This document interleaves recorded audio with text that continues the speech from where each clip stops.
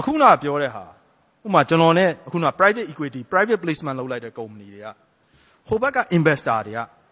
ငါးနှစ်လောက် invest လုပ်ပြီးရင်သူတို့ကသူတို့ investment ကိုပြန်ထွက်မှာဒါထုံးစံပဲ private equity fund နဲ့ငါးနှစ်ပြီးရင်ပြန်ထွက်တယ်သူတို့ share ကိုအခုနပြောသူပေါ့နော် TPG ကဝင်လိုက်တယ်သူက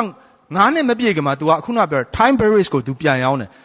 time barriers ကမဝယ်လဲ9နှစ်ပြည့်ရင် तू ကြံတဲ့ investor တယောက်ကိုရောင်းမယ်မရောင်းရင်အဲ့ဒီကောင် stock market မှာ listed လုပ်ပြီးသူ့ share ကို အမြတ်ယူပြီးသူကထွက်သွားမယ် DPG ကဒါပေမဲ့ तू ဝယ်တဲ့သူပေါ်လာတဲ့အတွက် तू exit လုပ်တယ်လို့ခေါ်တာထွက်သွားဆိုတော့အဲ့လိုပဲကျွန်တော်တို့ဒီမှာလုပ်တဲ့ကုမ္ပဏီတွေအဲ့နိုင်ငံတကာ investor တွေကဒီမြန်မာကုမ္ပဏီမှာ invest လုပ်ပြီးသားနောက်9နှစ်ကြာငါတို့ကငါတို့ share ကိုဘယ်လိုပြန်ထုတ်ရအောင်မြေကြီးသဘောနဲ့ပြောရင်ဗျာမြေကြီးကတော့ဒီနာလမ်းမတန်းကရောင်းလို့လွယ်ဈေးကောင်းတယ်လေသူတို့လည်းအဲ့လိုပဲကုမ္ပဏီတစ်ခုရဲ့ stock share ကိုဝယ်ပြီးသွားရင်ဘယ်လိုပြန်ရအောင်မလဲဆိုတော့သူတို့ကအရင်ကြည့် ပြန်ရောင်းလို့မရတဲ့မြေခွက်ကတန်မိုးမရှိဘူးပြန်ရောင်းလို့မရတဲ့ဒီ share လည်းတန်မိုးမရှိဘူးအဲ့ကြဘယ်လိုပြန်ရောင်းမလဲကြံတဲ့သူတို့လို investment fund ကိုပြန်ရောင်းမလား stock market မှာတင်ပြီးပြန်ရောင်းမလားအဲ့ကြရန်ကုန် stock market မှာတင်မလားစင်ကာပူမှာတင်မလားဟောင်ကောင်မှာတင်မလားကြည့်အဲ့မဲ့ရန်ကုန် stock market မှာကြည့်တော့အခုစား price က depress ဖြစ်နေတယ်သူတို့ loss မှာအဲ့ကောင်မကြည့်ဘူးကျွန်တော်ဖြစ်စေချင်တာရန်ကုန် stock market မှာလည်းအစီအစဉ်ရှိပါတယ် dual listing ရန်ကုန်နဲ့စင်ကာပူတင်လို့ရတယ်ရန်ကုန်နဲ့ဟောင်ကောင်နှစ်ခုတင် stock တင်မယ်ဆိုနှစ်ခုတင်နှစ်ခုတင်ဘာဖြစ်မလဲဆိုတော့ရန်ကုန်မှာတော့ဒီ stock ရဲ့တန်ဖိုးကနှိမ့်မယ်ဟိုမှာကျဟောင်ကောင်လို market မှာတင်လိုက်တယ်ဒီ company ရဲ့ stock ပဲ तू ကဈေးပိုကောင်းမယ်ဘာဖြစ်လို့လဲဟိုမှာ supply and demand demand ပိုများတယ် trading ပိုကောင်းတယ်ဈေးတက်ဈေးတက်တော့တဲ့ဒီက stock အာတကြက်ဖြစ်နေတယ်ဟောင်ကောင်မှာရောင်းတဲ့ company ဟာငါးကြက်ဖြစ်နေရဆိုရင် Mera ပြန်ဖြစ်ပြီးဈေးနှုန်း Mera ပြန်ဖြစ်ရန်ကုန်ရဲ့ stock ကလည်းငါးကြက်ပြန်တက်လာ အခုကျတော့သူ့ကိုပြန်ပြီး reference လုပ်စမ်းပြီးရန်ကုန်တစ်ခုတည်းဆိုတော့ဟာဒီတိုင်းကြီးပဲဟာမင်းတို့ကဒါဒီမှာဟို FMI ကိုတောင်းတစ်ထောင်နဲ့ဝယ်နေတာငါတို့ jewel listing လောက်တာဟောင်ကောင်မှာအဲ့ကောင်တသိန်းပေးဝယ်နေဟာဒီမှာတသိန်းတက်တသိန်းတက်ဆိုတော့ jewel listing လောက်ဖို့လွယ်ရန်ကုန် stock market မှာလည်းရှိပါတယ်ဒါပေမဲ့အဲ့ဒါကြီးကိုမြုံမထားနဲ့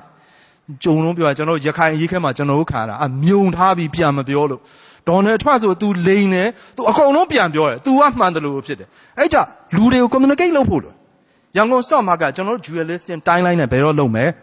အဲ့ဒါဆိုကျွန်တော်တို့ဒီဘက်ကခုနပြောတဲ့ကျွန်တော်အခုလုပ်နေတဲ့ private equity ကဟာတယ်ဟာနောက်9နှစ်ဆိုအဲ့လို jewel listing လုပ်တယ်ဆိုငါတို့လည်းရန်ကုန် stock market မှာ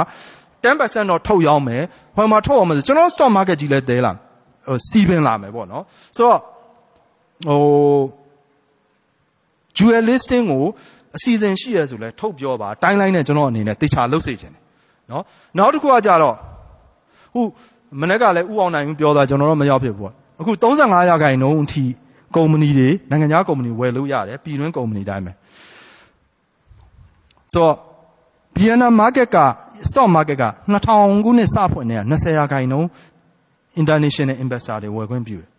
အခုဆို80 100အထိတောင်ရပြီသူတို့မကြောက်တော့ဖြည်းဖြည်းဖြည်းချင်းနဲ့ဖွင့်ပဲ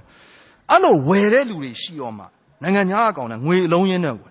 သူတို့ pension fund တွေ pension fund တွေဆိုတာသူတို့ရှိမှစုရတယ်လေဆရာမတွေဆိုရတဲ့လကဘယ်လောက် percent စုဘယ်လောက် percent စု retire ရမှထုတ်ပေးရအဲ့လိုစုထားတဲ့ကာလမှာဒီငွေတွေသူတို့ဘာလုပ်မလဲ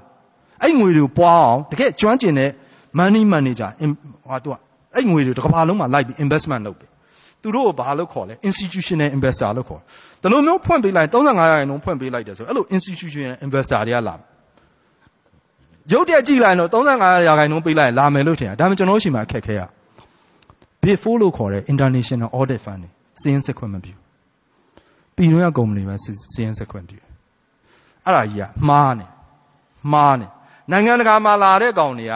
Big 4လို့ကုမ္ပဏီတွေကိုပဲသူသိတယ်ဟုတ်တယ်တခြားတစ်ဖက်ကလည်းကျွန်တော်တို့ local audit fund တွေတကားဖွင့်တဲ့အချိန်မှာသူတို့ကိုကာကွယ်ပေးရမယ်ဆိုတော့ကျွန်တော်ဆိုလိုတာသူ့ရဲ့ level နဲ့ခွဲပေးထားပြည်တွင်းကလည်းဒီကုန်း pay 4နဲ့ joint venture လို့နိုင်ငံခြားကလာလဲကျွန်တော်စီမှာရှိတဲ့ audit fund တွေဘယ်သူမှမသိဘူးဟာ PLC ဟာသိတယ် KPMG သိတယ် Deloitte သိတယ်အန်ဆန်ယန်သိတယ်အဲ့လိုမျိုးတခြား international audit fund တွေက audit မလုပ်ထားဘဲနဲ့နိုင်ငံတကာ investor ကဝယ်ဖို့ခက်တယ်ကုမ္ပဏီဥပဒေရတော့ပြင်ပေးလိုက်အဲ့ audit ဟာကြီးဟာပြည်တွင်းကုမ္ပဏီပြည်တွင်းကုမ္ပဏီတွေကျွန်တော်ပြက်စေ audit fund တွေပြက်စေခြင်းလို့ပြောရမှာ သူတို့နဲ့အတူတူ big 4နဲ့ပူးပေါင်းပြီးလုံးမှာကျွန်တော်တို့ကဟိုနိုင်ငံတကာ investor တွေခေါ်မှ stock market က demand များလာပြီးတော့ stock တွေဈေးတက်လာ